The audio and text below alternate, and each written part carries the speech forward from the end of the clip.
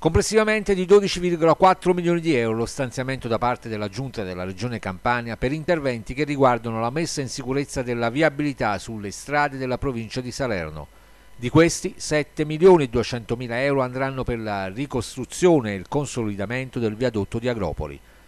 È una scelta che testimonia ancora una volta la vicinanza di questa amministrazione alle comunità locali ed in particolare al Cilento dice l'assessore alla difesa del suolo e protezione civile della regione Edoardo Cosenza. La regione ancora una volta interviene per sussidiarietà nei confronti della provincia in base ad una programmazione avviata con l'ex assessore provinciale ai lavori pubblici Attilo Pierro e proseguita con l'attuale presidente Giuseppe Canfora.